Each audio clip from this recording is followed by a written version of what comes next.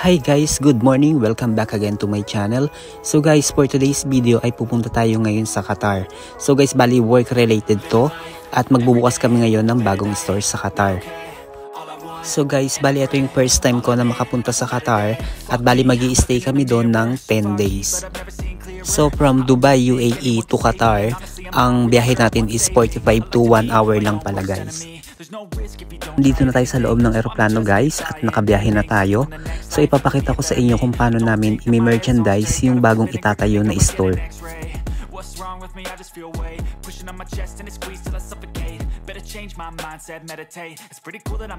So touchdown Qatar na tayo guys. So finally nakababa na tayo at kung mapapansin nyo yung Qatar ay medyo malayo sa itsura ng Dubai dahil kasi yung Dubai ay napakadaming building. Guys, bali pagkarating namin, bumisita lang kami sandali dito sa bagong store. So kung mapapansin nyo guys, medyo magulo pa, pero nakapag-start na silang mag-set up. Pero kasi ang mangyayari nito, babaguhin namin to lahat once na mag-ipon-ipon na kami at makarating na rin yung mga ibang BM na kasama namin. So guys, kung mapapansin nyo, napakalaki ng store at magiging busy tayo sa loob ng sampung araw. Well, I just wanna be happy. How to get there? Hmm, glad that you asked me.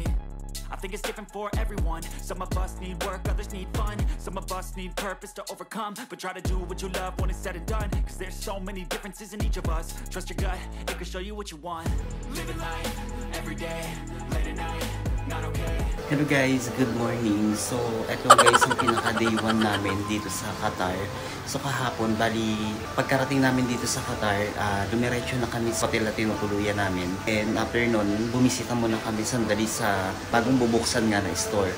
So, eto nga pala yung room na tinuluyan namin. Ayan, so may kasama akong isa na yung kasama ko nga na VM din. Guys, papakita ko sa inyo, medyo magulo na siya dahil nga syempre natulog na kami. Ayan.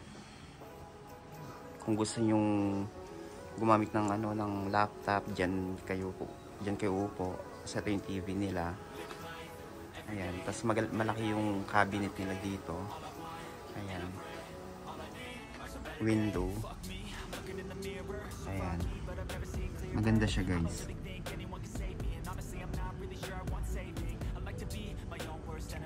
So pagbaba namin mamaya, meron kaming free breakfast. Tapos iintayin na lang namin mamaya yung driver na maghahatid sa amin.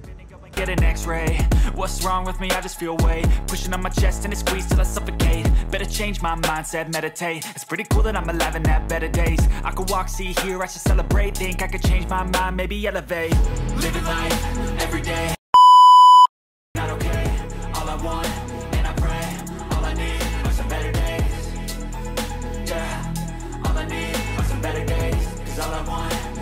few minutes later. Hi guys, so nandito na kami ngayon sa store. So itong mga bed na to kahapon inayos na namin. So hindi na ako nakapag-vlog kahapon dahil nga marami kaming ginagawa. So sa ngayon, ito tapos na namin ilagyan ng mga comforter itong mga bed. Ayan, para medyo mabos bawasan yung mga kalat namin kasi masyadong marami nung ano, uh, deliver kahapon. So guys, after natin malagyan ng mga comforter itong mga bed, Tama yung mattress. So, ang gagawin natin ngayon, uh, susubukan natin mag-styling na. So, lalagyan natin ng mga frames, ng mga flowers, ng mga base. Ayan, para matapos na nga yung gawain natin. Kasi masyadong maraming trabaho ngayon.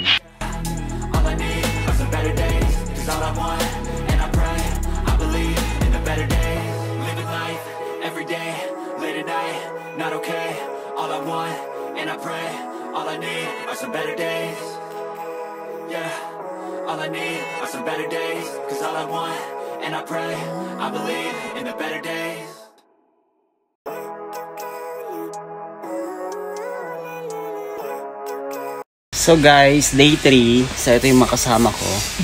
Ayan. Si Jen from Bahrain. Yes! Representing Bahrain! oh, pakilala ka na. From? from Philippines. Bali. So siya yung magiging BM dito. Ano pangalan mo ulit? Ito yung representative from Saudi Arabia. Hoy! O bakit? From Bengali po. Um, ayan. So for today's ganap, wala kami masyadong deliver. So lugaw muna kami ngayon. Yan, ano masasabi mo dito sa Qatar na nandito ka? Mas Maganda kasi sa bar. Talaga ba? Oo.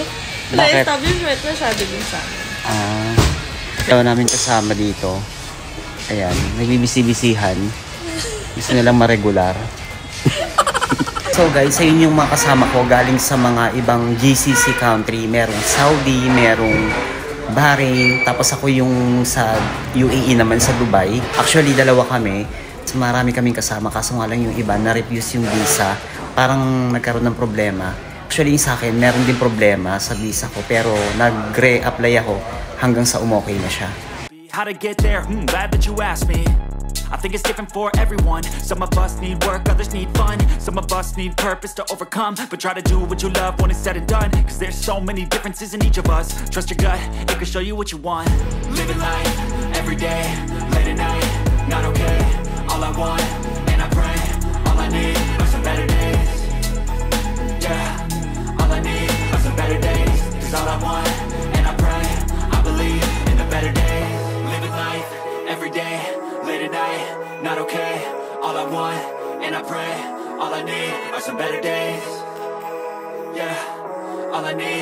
better days. Cause all I want, and I pray, I believe in the better days.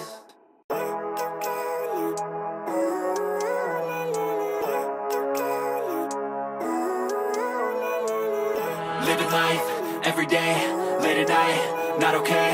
All I want, and I pray, all I need are some better days. Fuck me, I'm looking in the mirror, so foggy, but I've never seen clearer. I don't really think anyone can save me, and honestly, I'm not really sure I want saving. I like to be my own worst enemy. There's no risk if you don't try at anything, so I'ma just keep buying everything. See you in the next life, have to be a better me. I don't think that my head's on.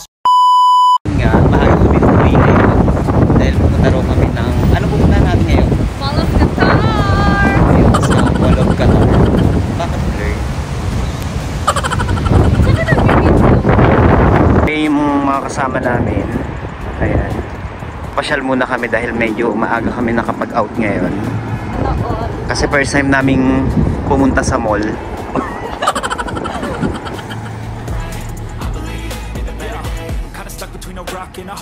Guys, nandito na kami ngayon sa metro station nila. So, first time namin nakapunta dito. Hindi ako marunong yan eh. Nagsusukli sila?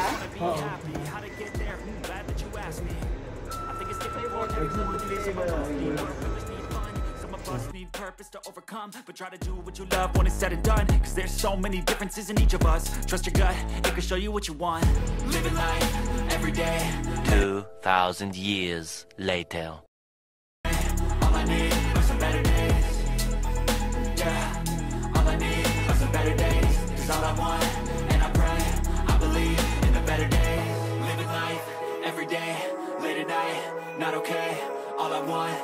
I pray, all I need are some better days.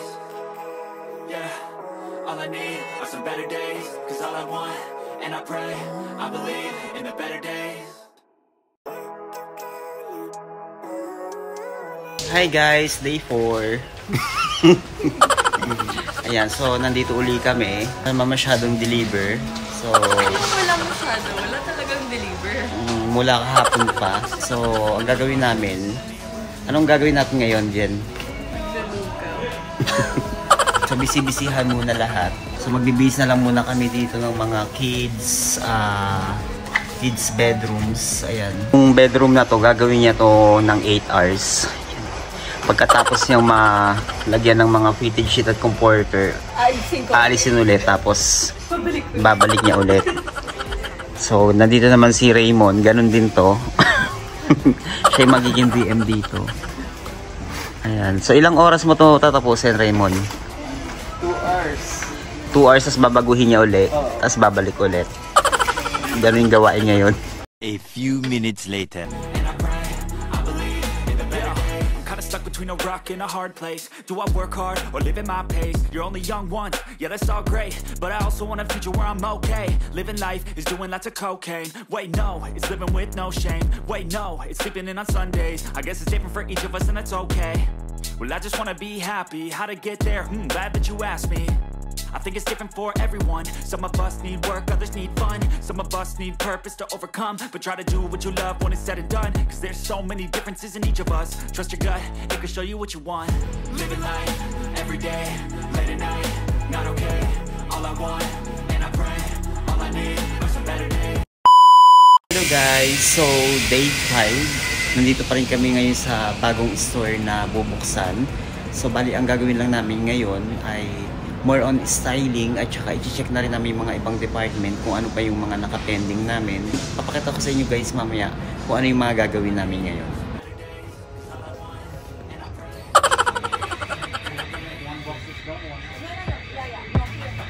Jen.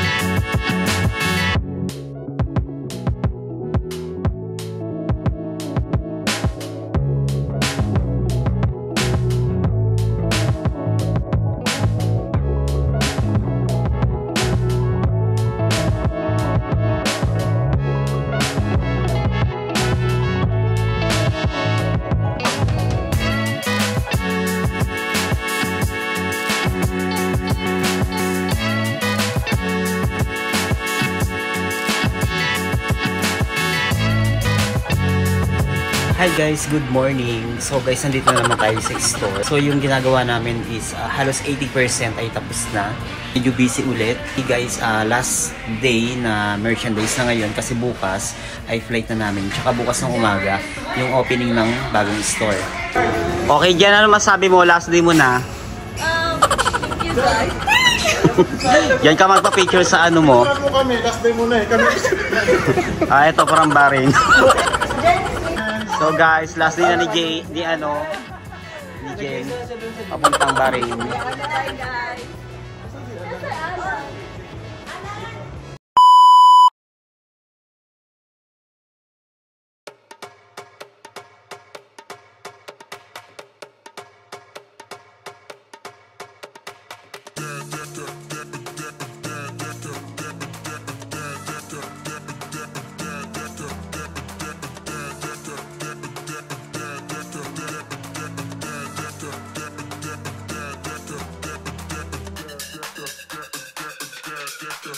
Yeah.